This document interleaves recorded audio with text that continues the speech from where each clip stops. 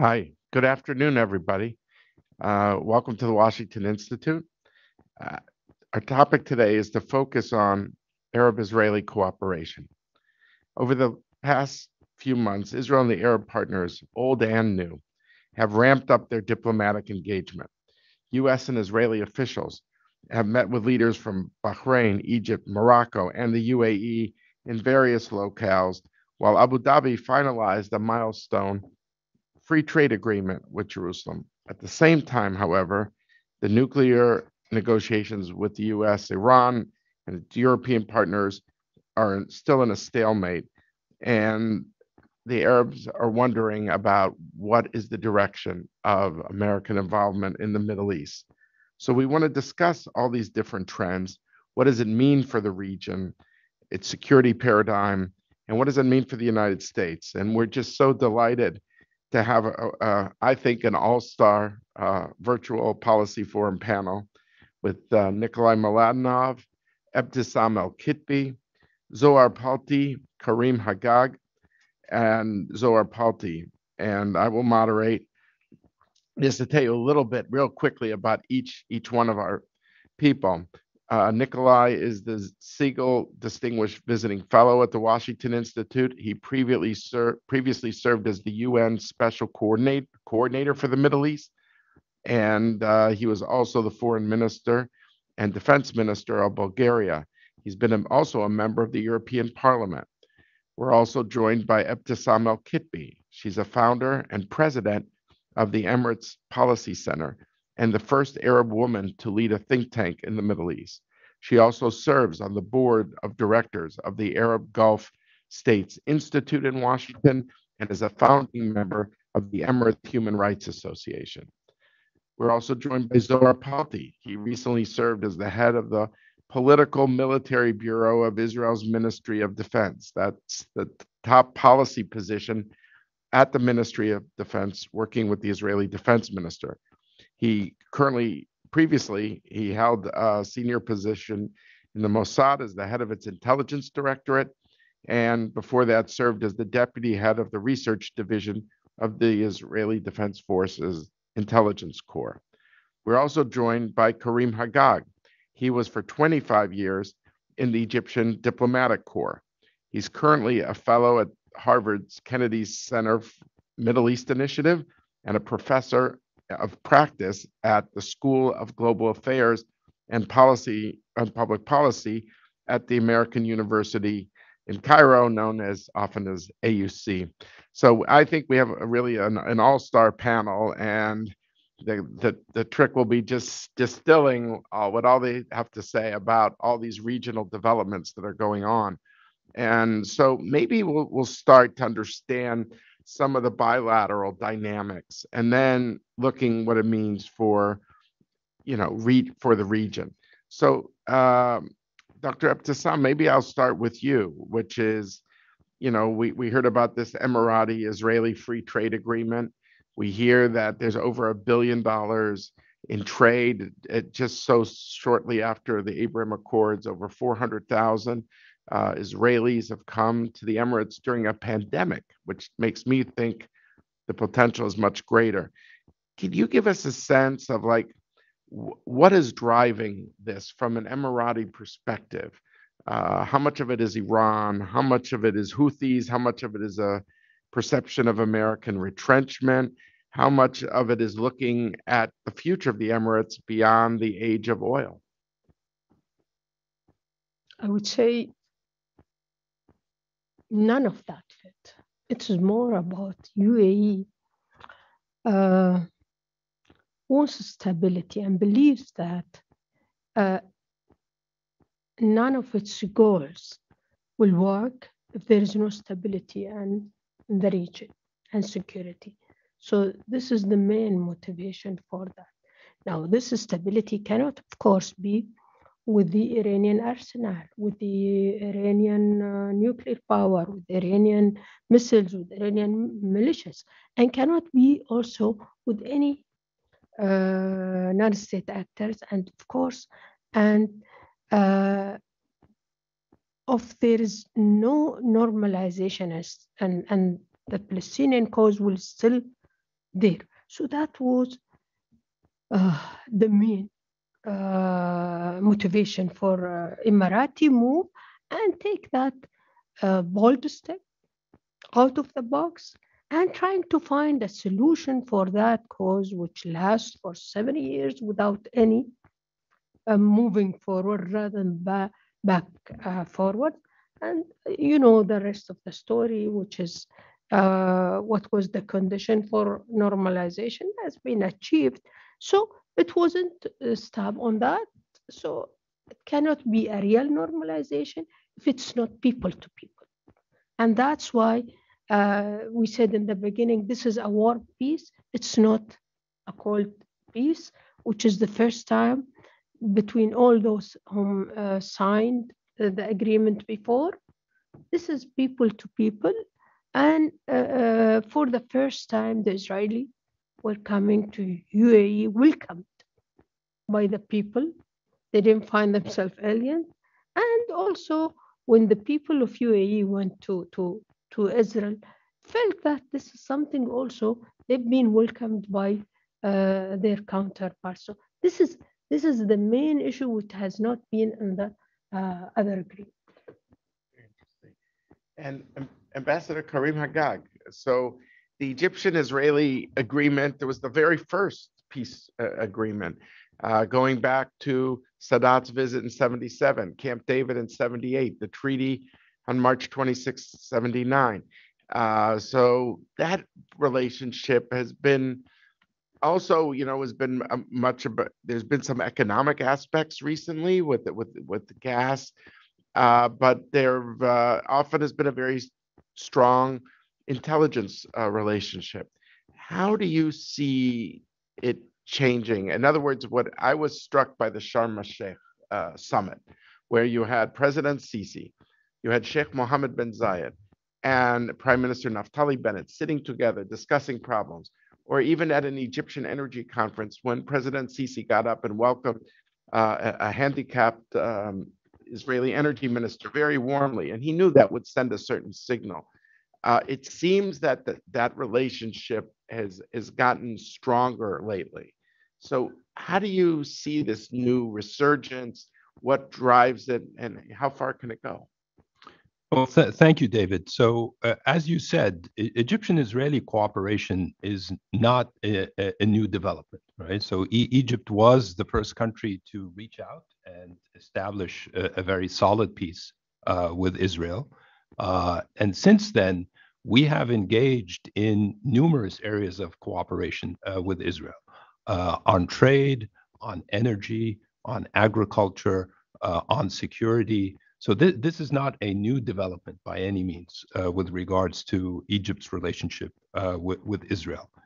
At the same time, you know, to echo something that Ebtesam mentioned, Egypt has always believed that cooperation uh, agreements with Israel should not come uh, at the expense of, and in fact should underscore the need to move in a very concerted way on uh, the Israeli-Palestinian conflict, right? To address what has been the long-standing, the, the most long-standing uh, issue of Israel's occupation of the West Bank and the Gaza Strip.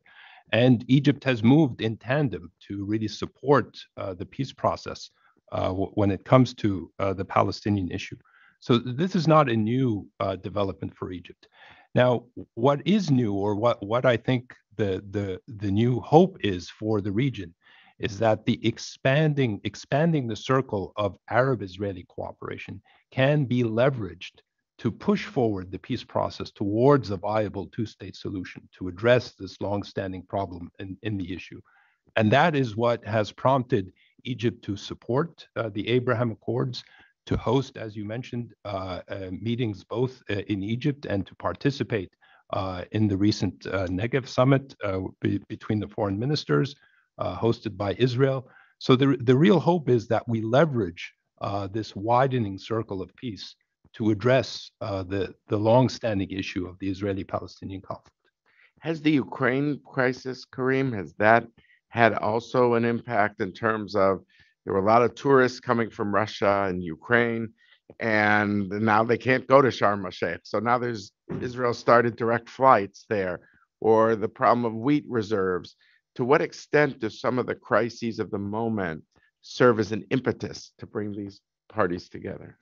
Yeah, well, it's it's no secret that the economic repercussions of Ukraine have hit the region uh, quite hard. Uh, so yes, and whether in terms of wheat imports, whether in terms of tourism, but again, to to emphasize the the issue of functional cooperation with Israel on issues of tourism, on issues of energy, on issues of trade, this is not new, right? Just to give a very quick example, right? Egypt signed the Qualified Industrial Zones Agreement with Israel, which allowed for Israeli imports uh, into uh, Egypt that allowed Egypt to export goods into the US market duty free. That agreement goes back to 2004, right? So just to give an example of how long standing. 400,000 Egyptians are, uh, are employed thanks Right. to that. So the the the, the functional uh, cooperation with Israel on issues of tourism, commerce, security, I mean that continues apace, right? There's really nothing new in that. Whether that cooperation again can be leveraged uh, in the context of the repercussions uh, resulting from Ukraine, yeah, yes, clearly. I mean that that would not be a a new development uh, in our relationship. Okay, before I go to Zohar, I just want to say for our viewers that are watching, uh, if you're watching on Zoom, you go to the Q and A function if you have questions, and if you're watching this on live stream, you go to Policy Forum, one word, at Washington Institute, one word, dot org to ask your questions. I'll be trying to monitor it. I can't promise I get all the questions in, but I will try to do my best. So Zohar, over to you. Um, you know, you see these developments, um, closer ties with Egypt, uh, a very promising start with the Abraham Accords in, in the United Arab Emirates, ties with security and in Bahrain and in Morocco. Your boss, the Defense Minister Gantz, uh, I should say, your former boss, now you're retired um, as of a month ago, but you know, you were with him in Morocco and Bahrain. I mean, I you've spent 40 years of your life uh, on uh, working on Israeli security from when you started as a recruit in the army. Um, did you ever dream that that this was possible? That that you would be there for to witness this history? And how do you see um, this these developments? First of all, David, it's great to be over here and thank you for inviting me. Second, it's always good to be back in the Washington Institute platform over here. It's a great home uh, to have a discussion like that. And I would try to share with you. I think that uh, President Sadat used to say, this is a peace of the braves. And I think that Accord is also kind of a peace of the brave. This time, it's bit um, who led it. It's of course His Highness uh, uh, Sheikh Mohammed bin Zayed, and of course President Trump, and His Majesty is Majesty the King of Bahrain, His Majesty the King of Morocco, and of course the former Prime Minister of Israel, uh, Benjamin Netanyahu. And I think that this is the biggest development in the last three decades since the peace with Jordan in 1994. And it's so great, so great for a guy like me that used to work in the shadows and things like that to land with El Al airplane in Morocco, in Marrakesh. Uh, sorry, over there we landed. It was in Bahrain or in Morocco. I don't forget. I I don't remember. With the same plane that took President Sadat to Israel it, from the Israeli Air Force. And Benny Gantz, when he used to be uh, chief of staff, and right now the Minister of Defense, he was one of the soldiers that used to uh, guards uh, and to protect the visit of late President Sadat in Israel. So it was very symbolic for all of us that used to serve so many years to see an event like that. And it's really for us to describe something like that, it's, it's very emotional, of course. And the beauty is that after 73 years, back used to be 70 years of the states of Israel, the second tier, the third tier of the Arab countries understand that Israel is not necessarily the problem in the region, on the contrary. Israel, Israel in a way, is the opportunity in the region. And we can have some debates or arguments regarding the Palestinian issue or other issue, and it's okay. And it's okay that some people also will criticize or have a different opinion, but at the same times, we are building so many things together. And it seems to me it's good to the region, it's good to the people of the countries that we just signed peace with them. And it's great to the people in Israel.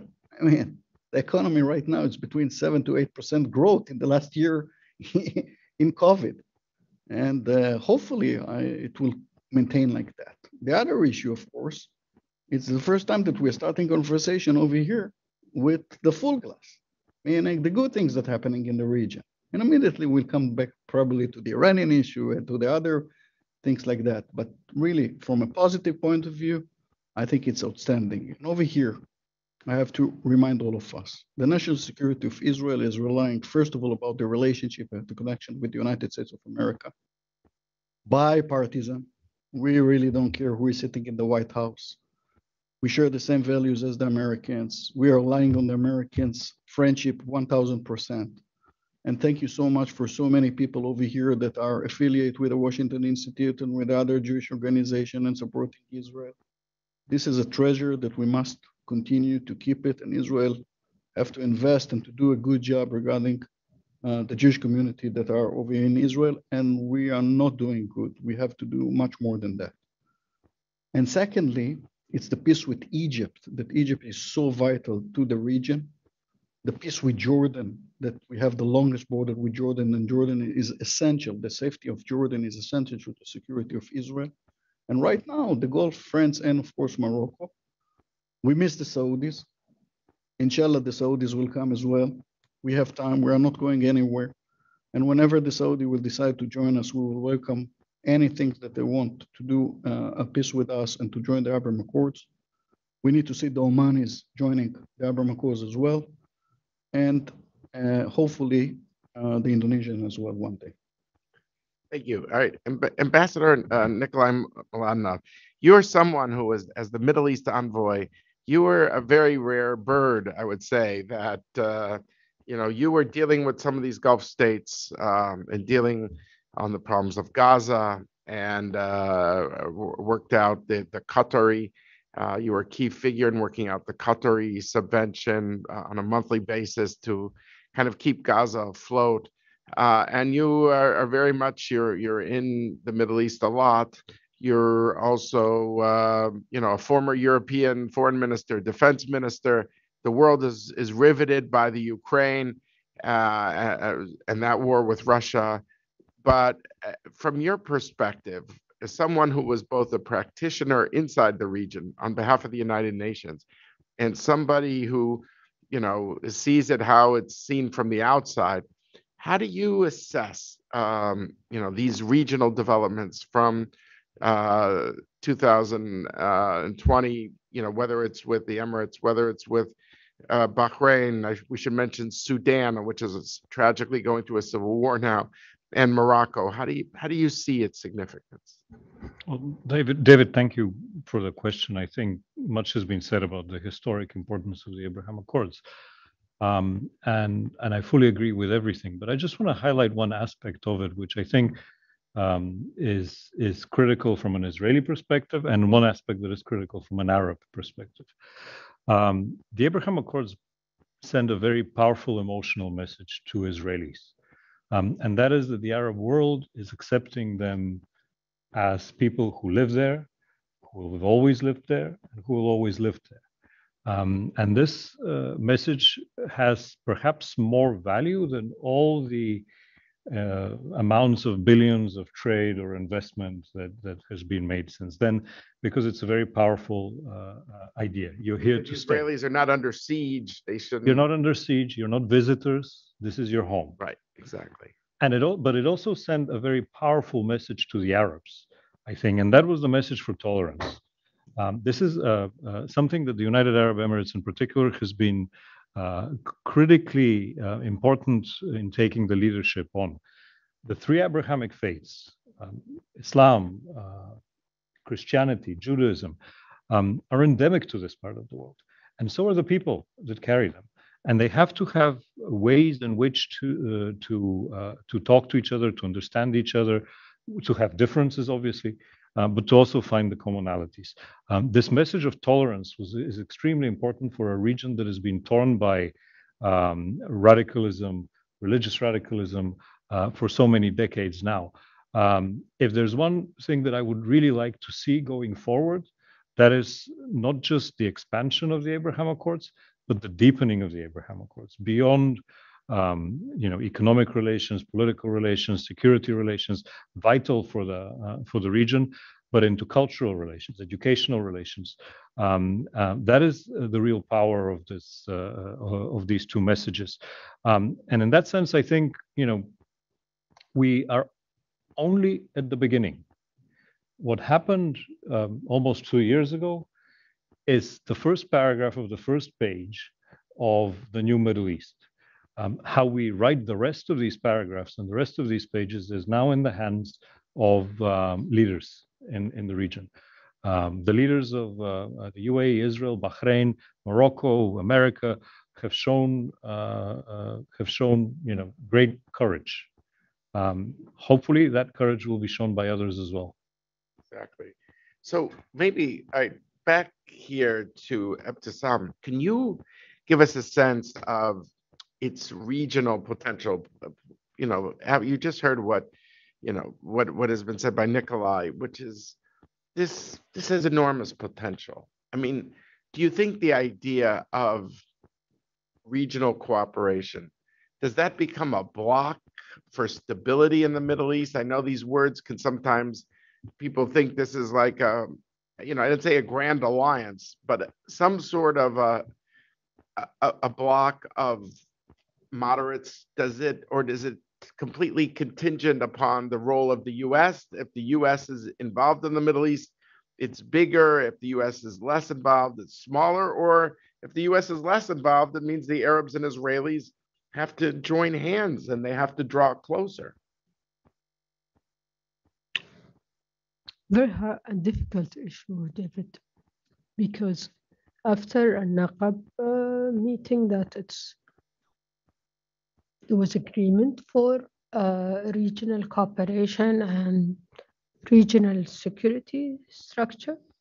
But also here it raised the question, US will, when it's withdrawing from the region, that this is the formula and this is can formula will deter the Iranian and their activities in, in the region and do these all signatories uh, they are uh, standing on the same level uh, vis-a-vis Iran. This is also a question.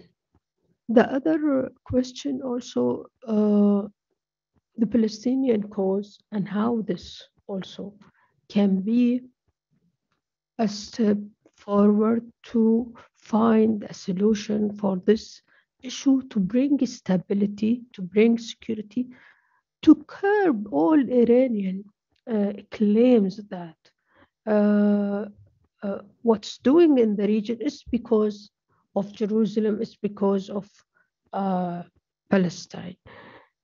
The, the actors also how they how much they will be involved and uh, enthusiastic towards this uh, structure. And how long it can last because there are spoilers in the region and they have no interest to keep this uh, regional cooperation uh, security architecture uh, in the region. It will depend on the wills and how long they will uh, continue also US withdrawing from the region, it doesn't mean that it should withdraw from its uh, supporting this kind of cooperation and, and uh, structure. As Nickolay said, it's not about how many it will involve. How, when we say it's not about quantity, it's quality those actors, um, they are in that uh, cooperation regional, their willingness to cooperate together and committed uh, to that. This is the main issue. And and Karim, how do you seeing it from Cairo, where you live? Do you um, do you see the regional cooperation as like an ad hoc thing on you know on on this energy issue? We have a gas forum. On this tourism issue, we have a consortium.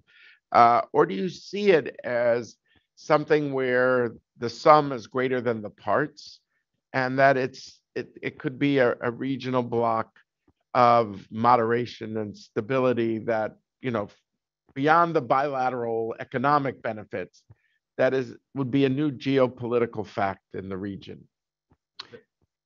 Yeah, thank you, David. So I think we have to make the distinction between the ongoing uh, cooperation between countries of the region, including Israel, on practical functional issues. And, and again, that, that started uh, with Egypt, followed by Jordan, and has now been expanded due to the Abraham Accords.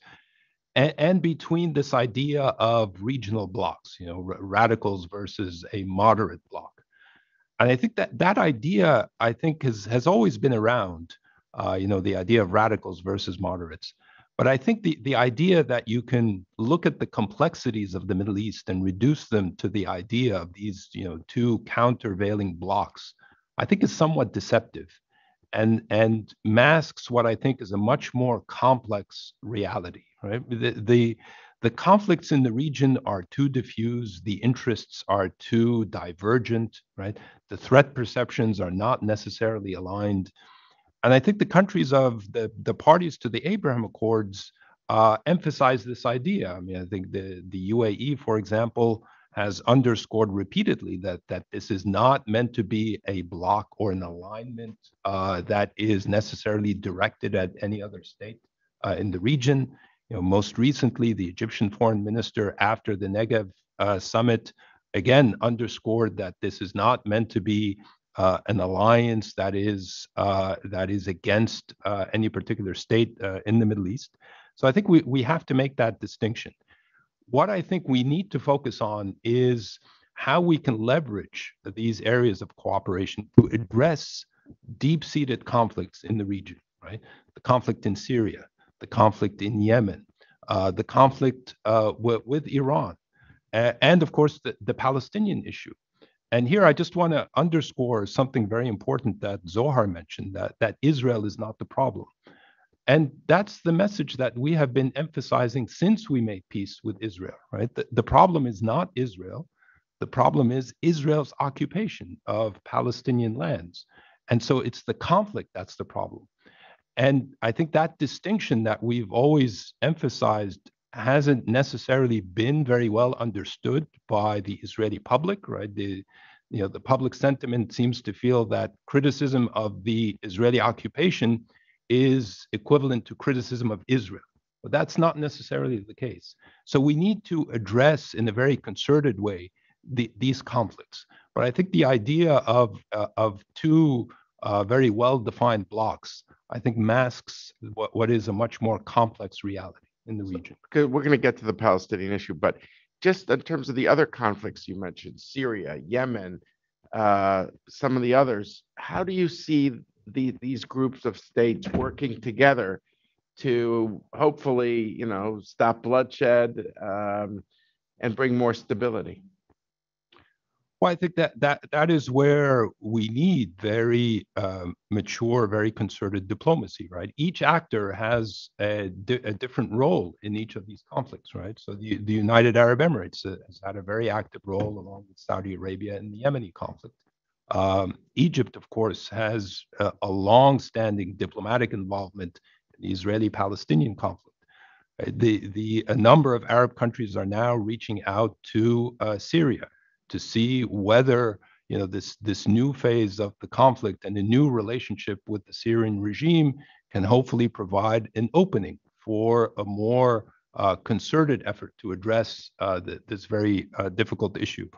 Uh, and of course, we have to think about Iran. I mean, how potentially can can we involve Iran in a regional de-escalation process for the Middle East?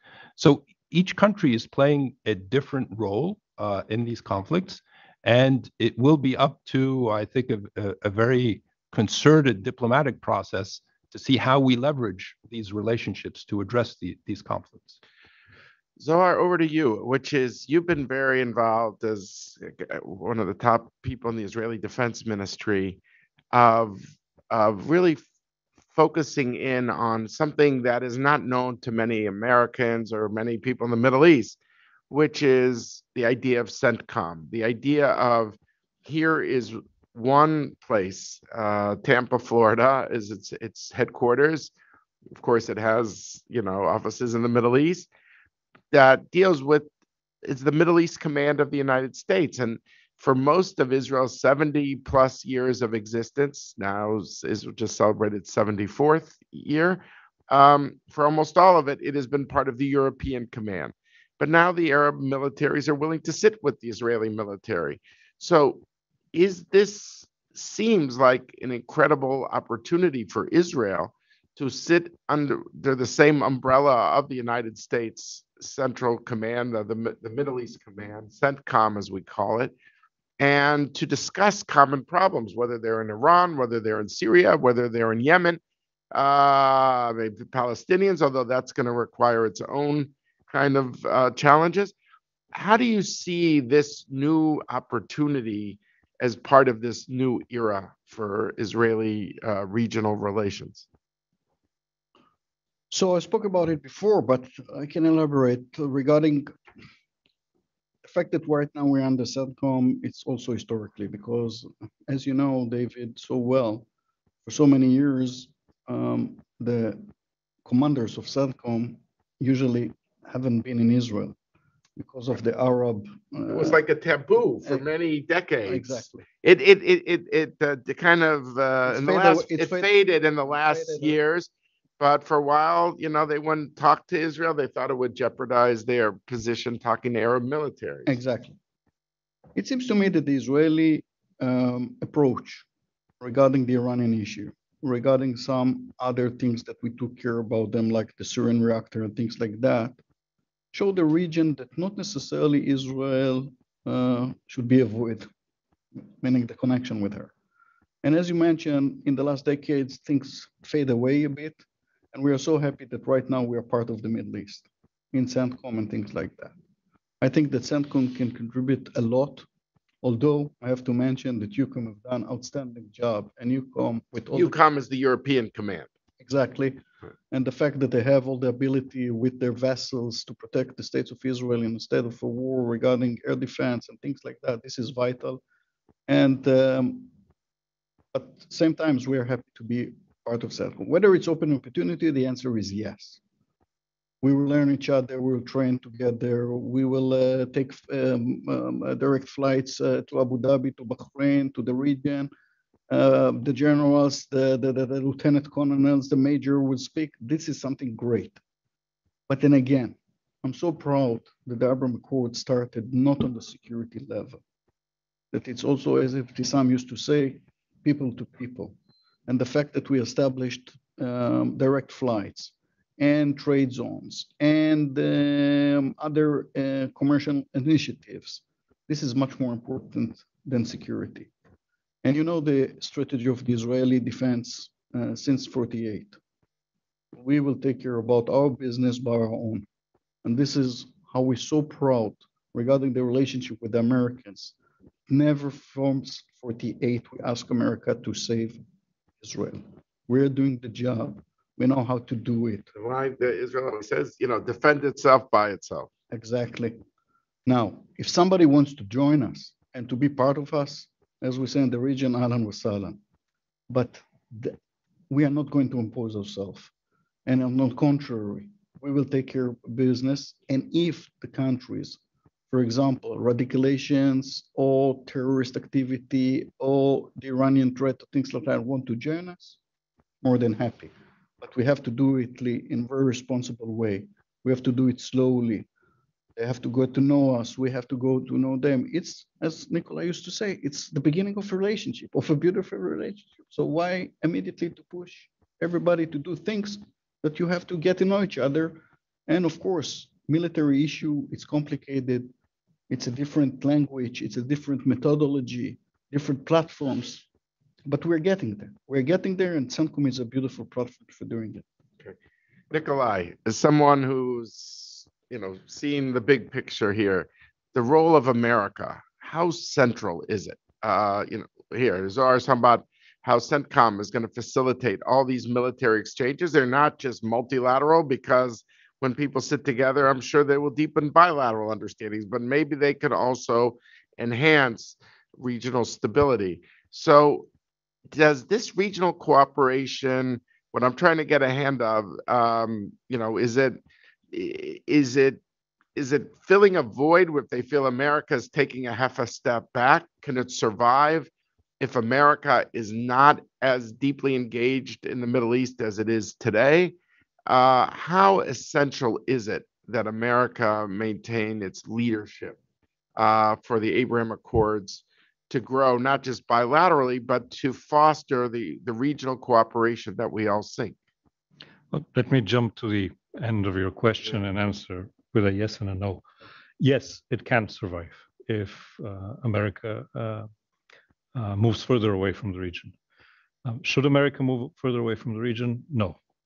Um, and is any one of the countries uh, in the Abraham Accords or the countries that came to the Negev summit, you know, who all have a strategic relationship with the United States, are any of these countries wishing to see America leave? No, and a very, very thick no with a big underlining. Um, America plays a critical role in providing security um, for the region, both at a political and, uh, and, and at the security level, but it also provides um, a sense of leadership and direction. Um, and that is very important for everyone. Um, the relationships that the countries have bilaterally with the United States can only be strengthened if they have a multilateral relationship among, them, among themselves. And if they open these relationships to other countries beyond the region um, in the context of the Abraham Accords. Look at one of the um, recent um, uh, successes uh, completely unpredictable at the signing ceremony of the Abraham Accords of the Abraham Accords, and that is that you would have a format in which the United States would sit with uh, uh the UAE and Israel and India, um, and would be talking about technology, and would be talking about maritime security, and would be talking about uh, trade. Um, now, think this through to the end. How many other countries around the world um, can such a format be extended to? Uh, not against anyone, not um, uh, against another country, but for uh, a development of relations um, and all that. And I see um, a great opportunity um, which requires the United States to participate in. I'd love to see the European Union find a, uh, a format with which it sits together with um, uh, the Abraham Accord countries, but not just with the Abraham Accord countries, because I don't think it's fair to uh, either to Egypt or to Jordan uh, to, to, to, to, to, to, to have two, you know, to talk about two groups of countries. We should talk about everyone together. And that was the beauty of what happened in the Negev summit, is where you had everyone come uh, uh, uh come together um, and talk about opportunities of, of cooperation. So I think, again, this is perhaps the second paragraph of the first page that we're writing now uh, or beginning to write now. But um, um, the opportunities there are extremely important, and they will reflect also, to a certain extent, the common um, threat perception that the countries will have, um, given the realities of the Middle East, but also the opportunities that they see for growth. Um, and in an environment of which we have today with the Ukraine crisis and with the global, the shakeup of the global uh, order, um, such formats, such discussions will be even more important uh, uh, than uh, than we can perhaps see, and they will create opportunities for solving, I think, down the line, other um, challenges in the region. Um, we've talked about radicalization. We've talked about Iraq briefly, Lebanon, Syria. Uh, but there is also the underlying uh, problem of uh, resolving the question of the Palestinians. Um, and in that sense, uh, that question may not be at the top of everyone's mind today because of all the other realities of the region, but it is an extremely important question that cannot uh, uh, remain uh, unresolved for a long period of time now. Yeah, hundred percent. And we're gonna get to the Palestinians. I got questions for you on that. But, you know, Zohar, I'm going this way now. Uh, you know, we talked about the idea of deepening the accords for for the existing countries. And Nickolay very correctly, in my view, pointed out to all these permutations, like the Quad. You could do it with so many different countries to do all these different projects uh, you know, if it's Emirates, Israel, US, uh, India, or, or there's so many other permutations. But I know something on the viewer's mind is not just the deepening of the accords, but also the broadening of the accords. And I know there'll be, I'll get questions on this, so I might as well ask you now, uh, which is Saudi Arabia. And to what extent is the Saudi Israeli uh, breakthrough idea that people think could be coming, how much of it is held uh, linked to the paralysis that is marked U.S. Saudi relationship? It, it almost is as if Crown Prince, um, you know, Mohammed bin Salman, MBS, saying, "You want me to normalize uh, with Israel? Well, you normalize with me, you Americans." So, how much are these two issues linked? That the Saudis think Israel is a great card for them to play and they don't want to give it away for free and they want to see an improvement of US Saudi relations. I don't want to get into the uh, the spot of the relationship between you and the Saudis, but I know to say something like that from Israeli perspective. It's vital to the region that the Saudis will come to the Abraham Accords and will uh, establish open relationship with the state of Israel. Saudi Arabia is the biggest country beside Egypt in the region. Saudi Arabia is 50 kilometers from the Israeli border. Some people tend to forget it. Um, Saudi Arabia, the stability of Saudi Arabia is vital to Jordan, is vital to the Gulf states at all. It would be great if Saudi Arabia will, without, as Nickolay mentioned right now, without the facility of the Americans, it's not going to happen. With that reason, the other reason is less important. We need Americans to push this issue. Now, I know that there are some issues uh, over here in Washington, but it's so important that a good relationship between the United States of America and the Saudi will maintain.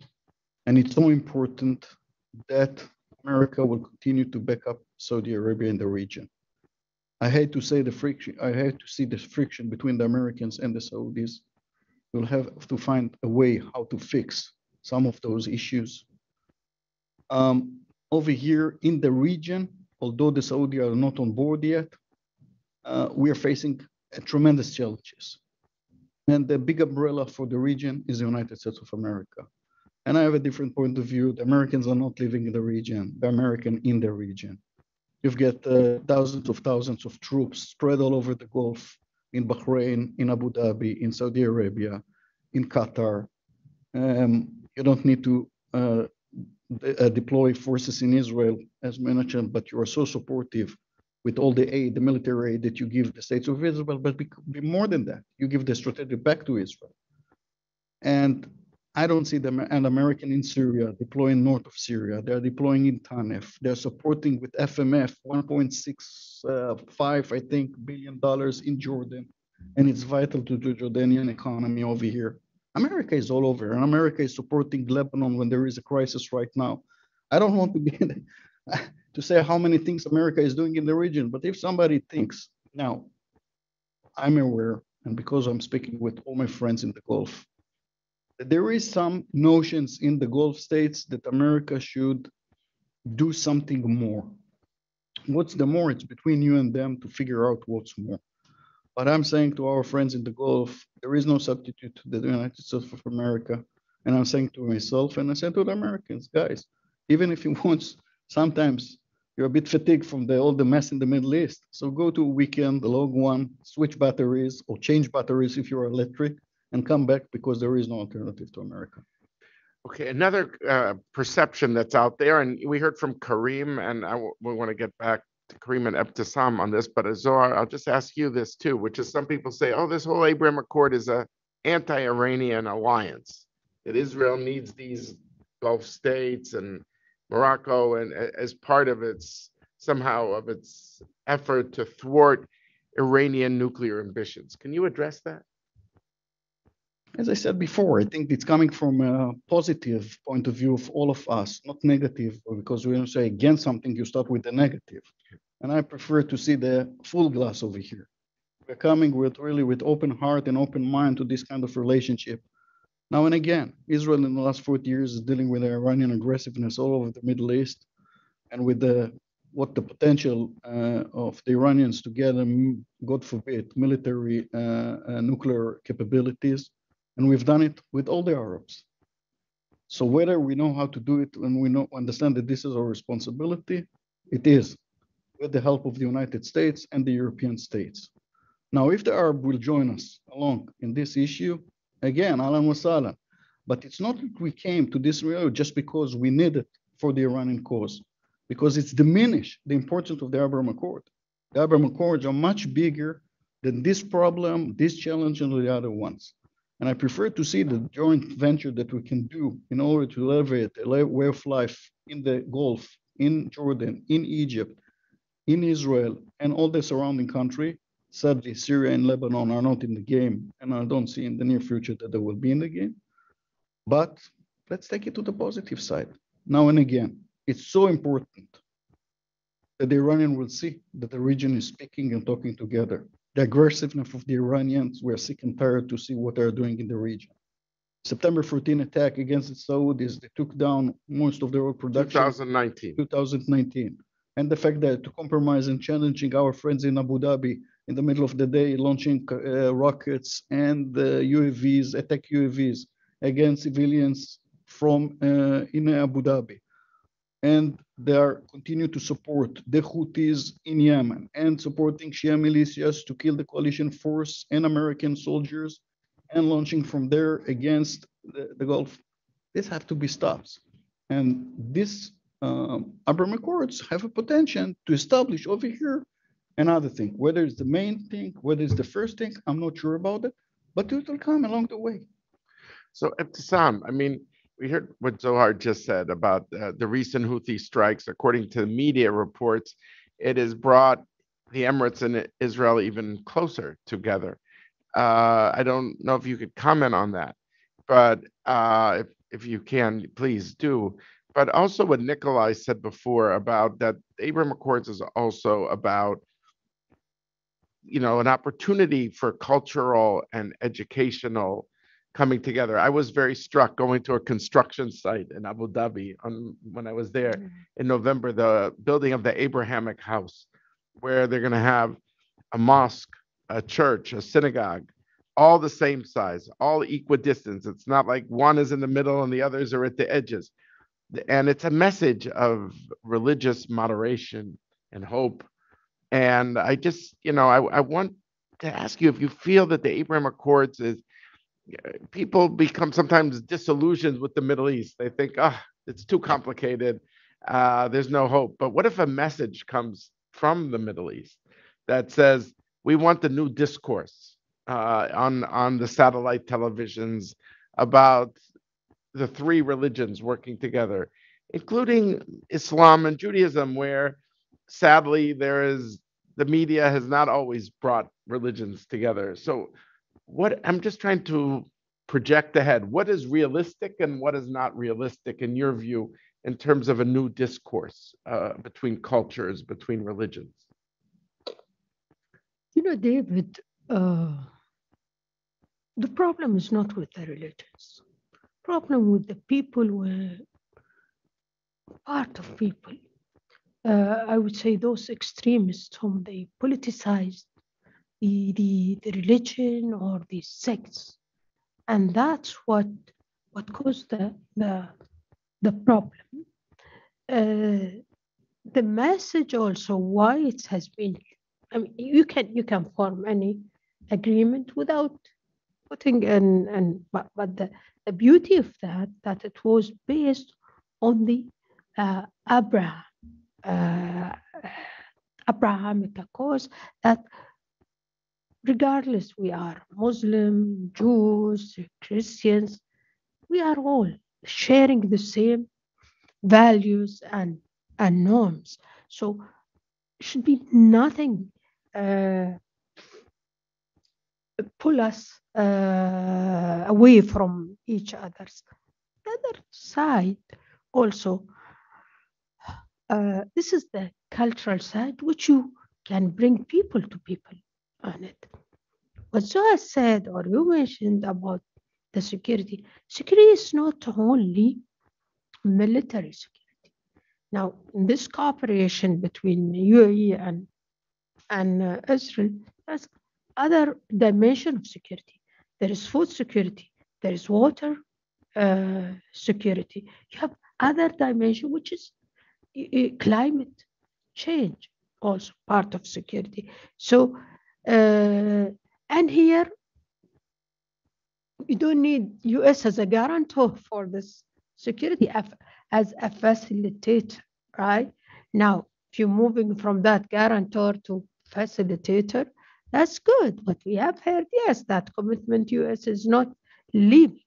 But how about all the global powers find their interest, okay, in encouraging this kind of cooperation based on uh, religion, involving countries from other part of the world, because we see that many, many of those uh, conflicts, either in our region or others, is also part of it because ethnic and religious uh, conflict. Look to Balkan, look to this is the issue. Look to Ukraine itself, and uh, so what we, uh, me as one of those countries who signed that, I wish that is is reach a, a stage level that can give that model which can be transferred to other part of the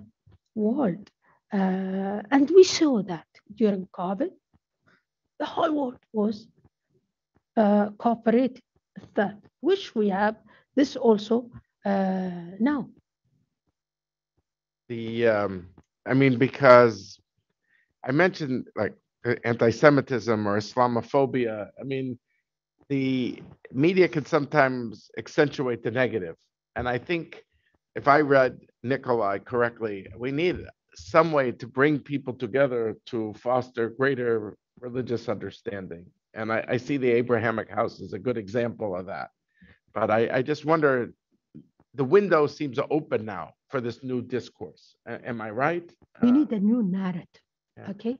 You need a new narrative because also you have a new generation. Okay. Those whom they played with the entire religion, okay, kind of those fanatic people, and they also benefiting from that. We are entering a new era now, okay, digital era. You need a new discourse. You need your media to use it.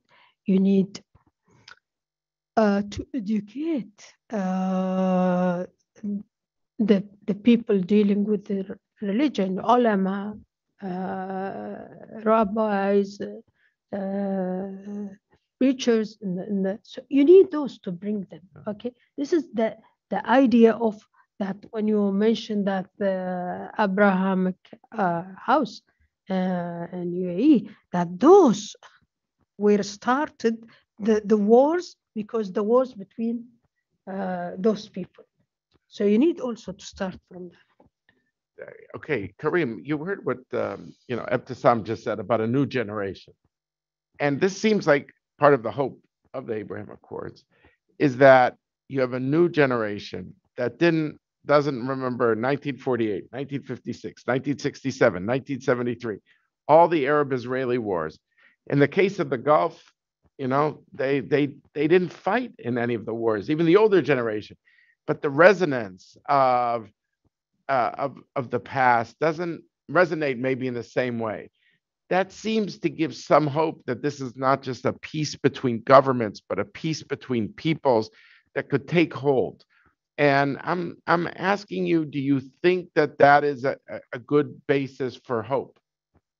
This generational shift uh, of of people. We keep hearing how the Middle East is the youngest region in the world. That like uh, seventy percent of the people are under thirty or thirty-five does, does this generational shift, is- does that give this region a chance for greater reconciliation? Yeah, no, I think that's absolutely true. That there is a new generation in all of our countries, right? In the Arab world, in, in Israel, in the Gulf, in Iran, in Turkey. And that new generation has aspirations, right? Aspirations for a better future. And that's what I think the, should be the impetus for moving forward on many of the issues we've been discussing, right? To, to echo something very important that Nickolay right? The impetus for the Abraham Accords is a positive im- i- impetus, right? And it's a positive impetus based on a, a vision for a better region, right? A more hopeful region, a more peaceful region, uh, hopefully a more stable region. That future, I think, has to be built on several pillars. Right? One of them is regional cooperation, as we've been discussing, and that, that's proceeding. The other pillar is on based on conflict resolution, right? We have to solve these deep-seated conflicts, right? We, we can't envision a better future with civil wars, with failed states, with occupation, right? With geopolitical competition, right? With, with a, a growing militarization of the region. And then, of course, the third pillar, as, as Ebtesam mentioned, is about moderation and coexistence. I think each of these pillars have to proceed in tandem. Now, this, this is a complex endeavor, right? But, but to, to bring it back to your question, right? Many of these issues are not about the past. They're about the present, right? We have civil wars in the region today. We have a, a situation of occupation in Palestine today. This is not about 1947. It's about today. And so we have to really come together to address these problems today in order to secure a better future for the region collectively for tomorrow. Because uh, I think, as, as your question implies, if we fail to meet these aspirations for the coming generations, then I think we're left with a, a less hopeful future for the coming generations. So at the time on the Palestinian issue, I mean, on one hand, and I was in Ramallah in, in uh, February when I was in Israel. And I said, you know, you need not just a peace process with Israel, you need a peace process with the United Arab Emirates because you've had some bad blood between Sheikh Mohammed bin Zayed, the crown prince, and President Abbas on the Palestinian side. Uh, the Emiratis feel insulted. And uh, the Palestinians put out the narrative that this is a bypass road around them to weaken their leverage. But it could also be a bridge, could it not? In other words, the same projects that the Emirates is funding in Jordan for solar energy and water with Israel and more electricity. It's a fantastic project. And it seems to me that here's a case, and, and uh, Karim and I might have a, a, a respectful disagreement, but it seems that whatever cooperation existed, the new normalizers could open up more political space for some of the old normalizers. But can do you see a chance of some sort of Emirati Palestinian reconciliation that would enable um, this uh, the Palestinians to view it as as a bridge and not as a bypass? Because you bring a lot of experience, the the Emirates, you have a lot of capacity uh, to to be part of a solution in the West Bank on, on the economic side. And by the way, I want to be clear. I think it's it goes without saying. Economics is the beginning of a solution, but it does not substitute for the political dimensions. So I'm just asking you how how do you imp- how can there be an improvement of Emirati Palestinian relations? Because I even look at what happened in Ramadan over, uh, and then I'm going to want to also hear from Nickolay and Zohar on this too. But it seemed to me that all what happened on the Al Aqsa Mosque, um, Temple Mount, however you want to call it, that the Palestinians said, okay, the Emirates feel they could go ahead without us, and the Middle East is going ahead without us. Maybe we need to jump on the train, but we have one thing that is a potent symbol that they cannot get around, which is photos on television, visuals of, of things at the mosque. And this is the strength of our weakness as Palestinians, the Achilles heel of these Abraham Accords. that if conflict continues in Jerusalem, this will have an impact even, you know, in different reaches of the Muslim world. So I guess I'm asking you is, is there a way to improve Emirati Palestinian relations and to help bring you in as part of the solution as opposed to some Palestinians depicting you as as this is a bypass road? Well, the the balls in the PA. Uh, in their playground, court? Yeah, in court. Yeah. Okay, it's not whatever uh, UAE done. They are always suspicious. Okay, it's normalization. They normalize with Israel. Why they don't? It's it's something I don't think. I, I will not say Palestinian. I would say Abbas and his people. Okay, and of course Hamas. Course. Uh, uh, this is it has nothing to do. UAE spent uh, uh, uh, tried to to build projects, uh, shake its hand with them, brought Abbas there even, okay, but it's about them. It's how we bypass them. They bypassed the Egyptian and the Jordanian when Arafat went to Oslo. Nobody knows, okay? So you don't say something, uh, it's not true. I think they wanted something, okay, and always, and you, you know, was this normal, normalization uh, based on freezing the uh, uh, annexation. Yeah. You remember that? Yeah. Why that was the condition? How can how can they say that we we bypass them? We could make it without putting this condition. Okay, we can make it. Yeah. Right or not? So I don't find it. It's there. It's not. You, I, to my knowledge, I know that UAE tried many times. They are not accepting this uh, uh, aids from UAE, and they are accepting it's coming from Israel. So a question we get, uh, and I see it in the in the chat also is, can the UAE play a role in Gaza? Can you imagine that? Uh, because Israel has had some issues with the Qataris and others, but some would say, well, why would the UAE go there? It could be destabilizing. I'm I'm just curious what what's possible and what is unrealistic. UAE is not going there to conquer Gaza. It's to help the Yes. people. And you know how is the situation in Gaza under Hamas, right? How is the the the infrastructure, many things. Uh, even with, all these monies going from from uh, the Qataris, where does it go? It's in Hamas people pockets. It doesn't go to the people to to to help them to improve their uh, uh, economic life or their life in, in, in general. So if UAE will go there, it will go to the help the people. But always this is how they think that they are suspecting whatever UAE is doing. Okay, this is the problem.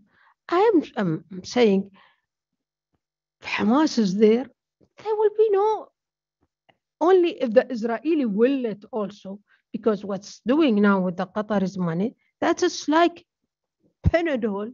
The, the more they are taking, then and after two months they're sending uh, uh, a strike against uh, Israel because they want more money. So I turn to you, uh, Nickolay, and then I want to hear from you, Zohar. But Nickolay, you're a peacemaker. You were the UN Middle East envoy. How do we use this as a bridge? Uh, this fantastic Abraham Accords with all the potential this panel's been talking about. How do we somehow? Uh, I mean, Jordan is able to use it right now, right? With with the electricity, solar, water, uh, an incredible project supported by the Emirates and I think other Gulf states would support too. How is there a way, in your view, to make this view as a bridge so um, that somehow that people feel the benefits of this in the West Bank as well?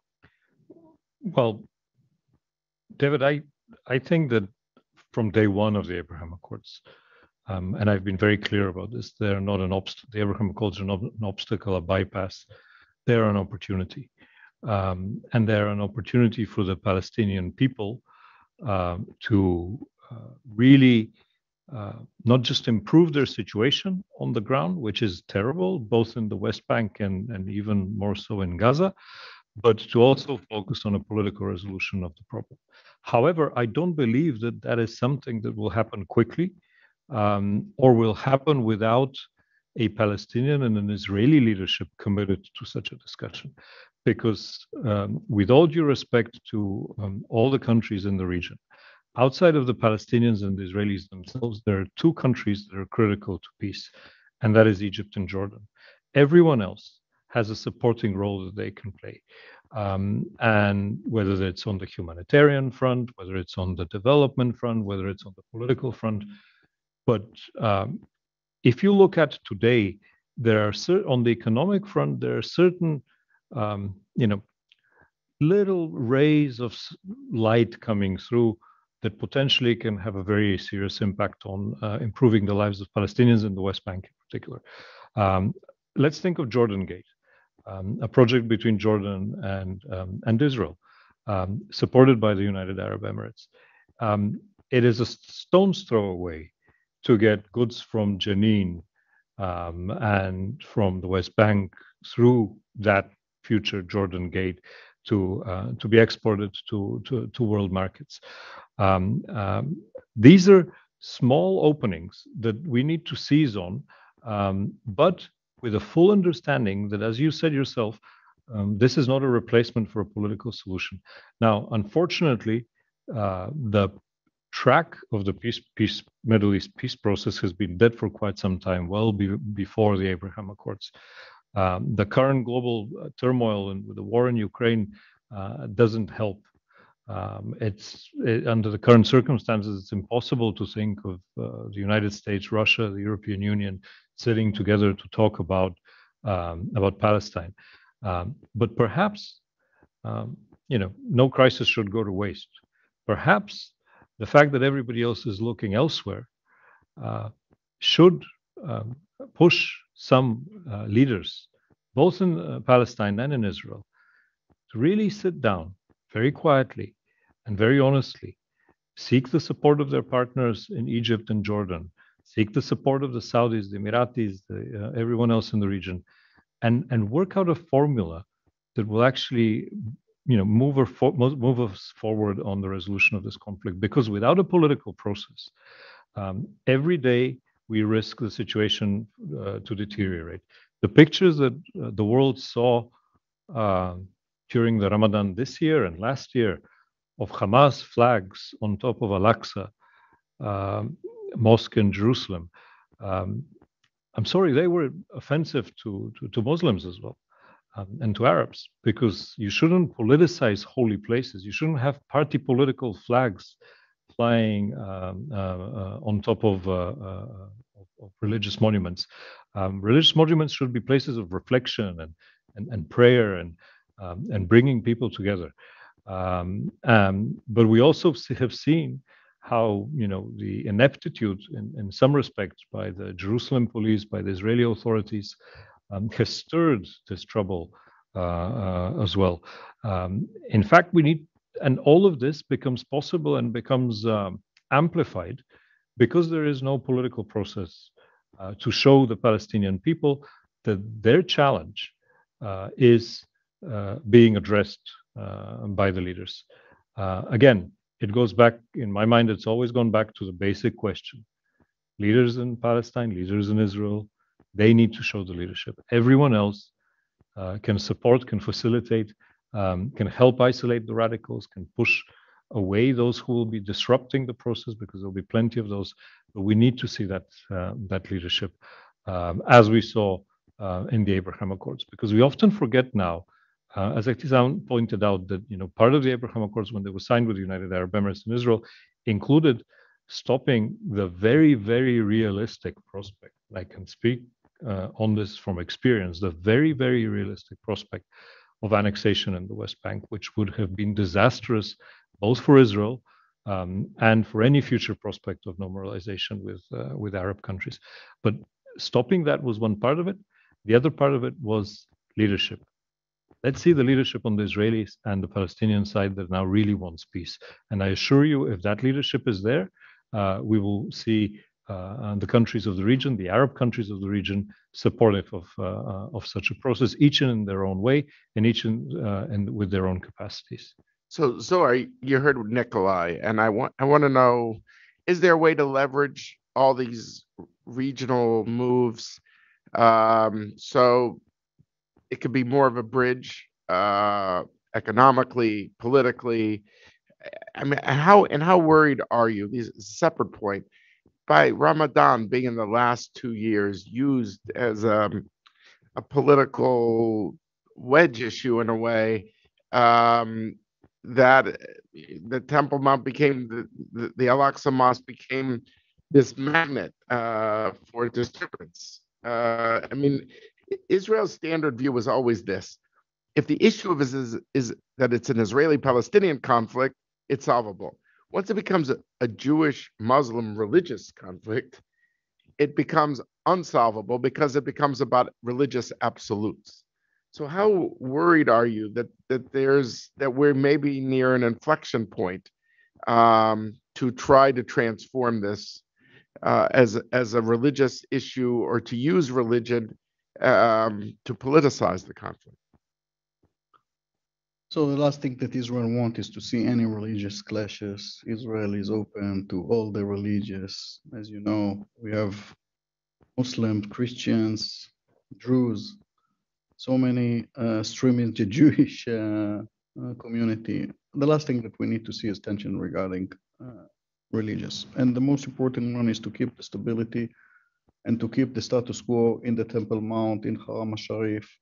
And this is exactly uh, what the Israeli governments in the last decades instructed all of us to tolerance and to respect that everybody will pray quietly over there.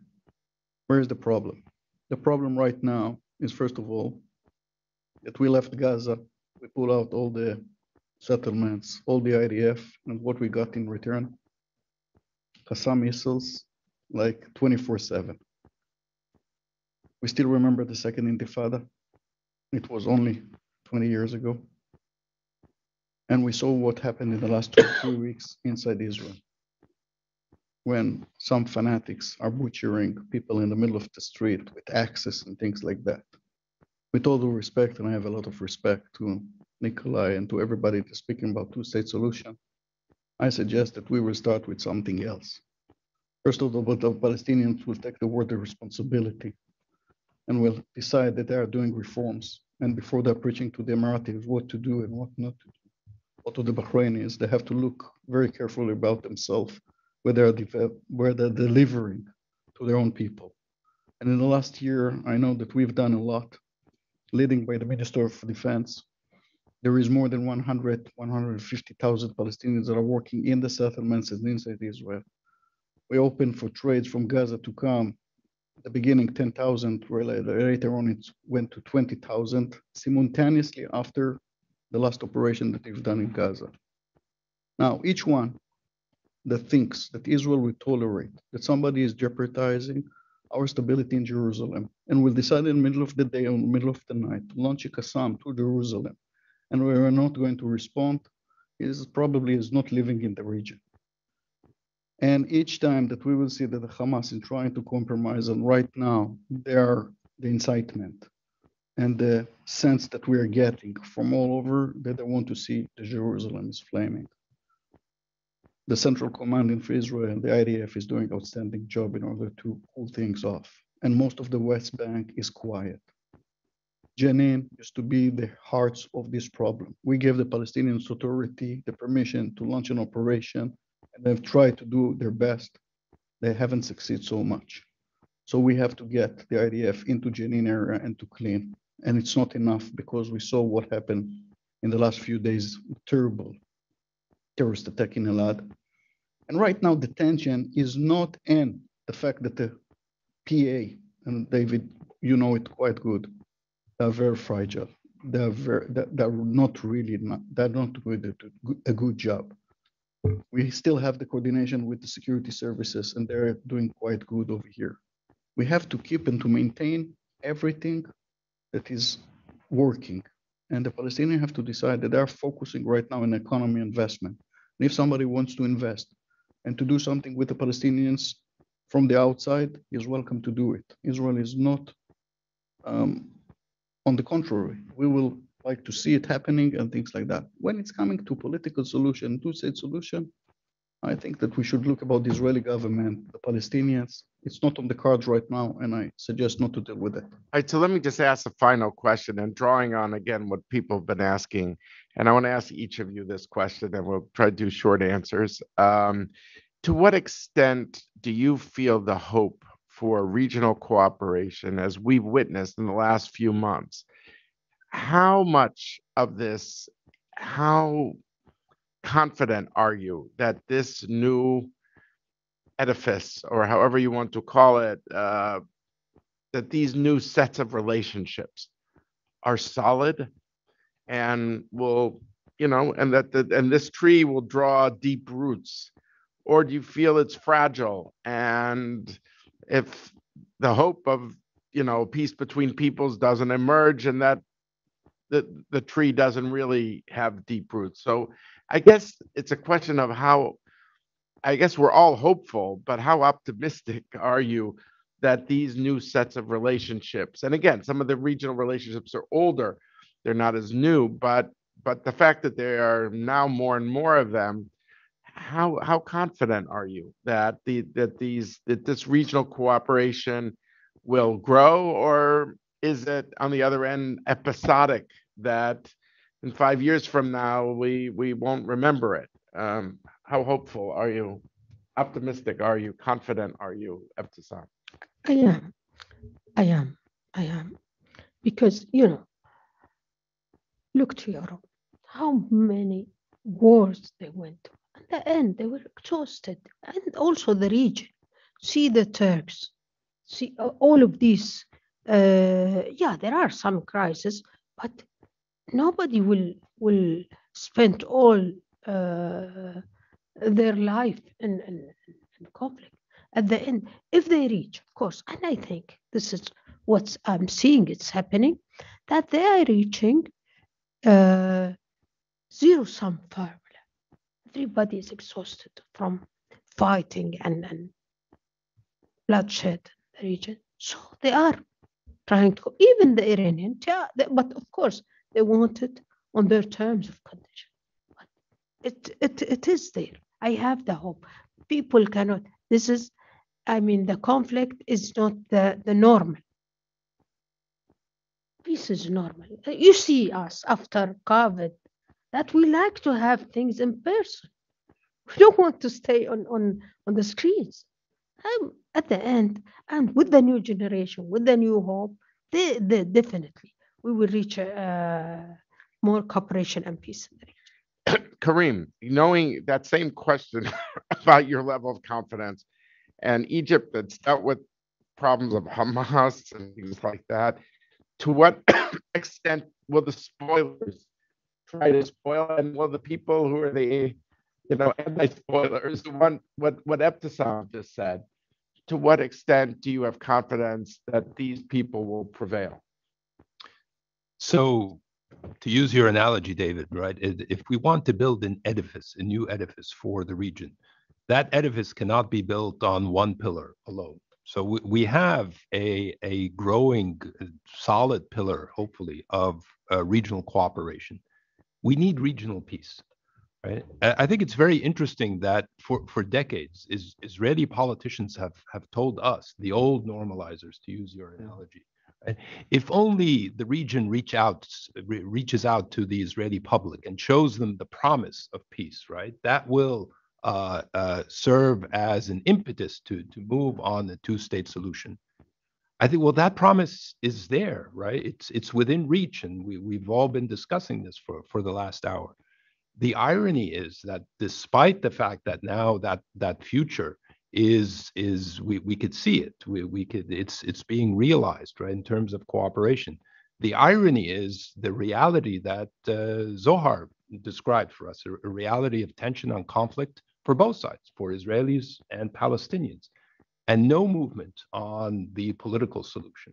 Right? So the, the future is there if we grasp it, if we realize it, if we leverage these new relationships to address the problems of today so that they don't uh, impact negatively the future that we want to build tomorrow, right? That, that, that's my hope, that we could build this edifice, but it needs these different pillars, right? The pillar of regional cooperation, a pillar of peace, and hopefully a pillar of moderation.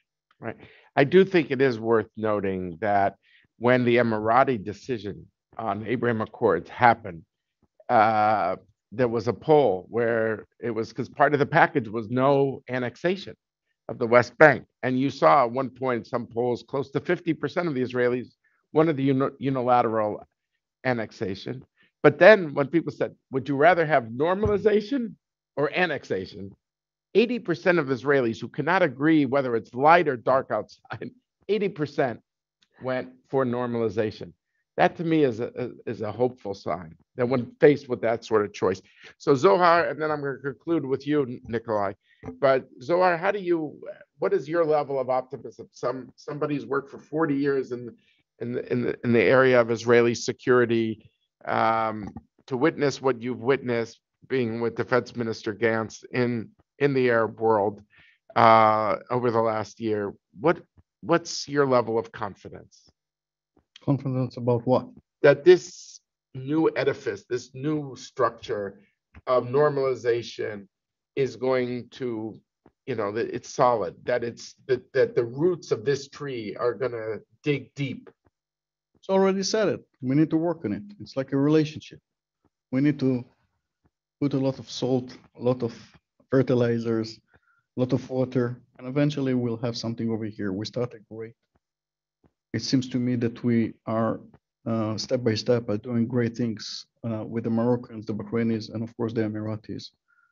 Uh, I, I, suggest to all of us not to try to jump the project from today to tomorrow, to understand that there is also next year, that we are building a relationship for decades ahead, and there is time to work about everything. Simultaneously, we'll need the support of the new Arab country that joined the peace with us to try to settle down and to ease down the tension between uh, the Palestinians and us. I'm very confident that the Gulf is mainly the Emiratis and the Bahrainis eventually will pursue the Saudis to join this issue. It will take some more time, but eventually they will come.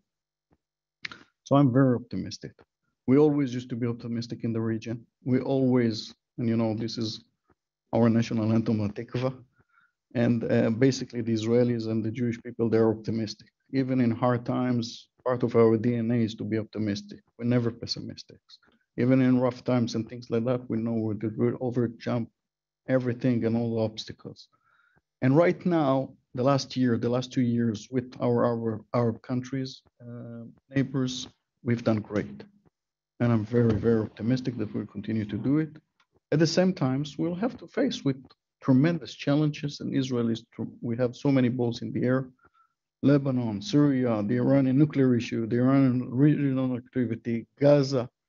When we're speaking about two-state solution, I suggest that first and foremost, the Palestinians will decide who is the states, who is the Palestinian state that represent the Palestinians. Gaza that are launching Qassam missiles to Israel like every five minutes and not speaking with the West Bank, or the West Bank that right now uh, have to go to kind of transition and are not speaking with the West Bank. When the Palestinian will understand what they were, where they want to go, we will be there. You get the last word, Nickolay. So your level of confidence, someone who worked as a peace mediator in the region, someone who goes back, you were just there. What is your level of confidence that this new cooperation will be able to strike uh, deep roots? I'm very confident. Um, and I'm confident because in the uh, almost two years since the Abraham Accords have been signed, I've seen how that cooperation um, has taken root already. Um, and of course, there are challenges. There'll be differences. There'll be diff- difficult periods. Um, the world, you know, throws things at us that we can't even begin to to to expect.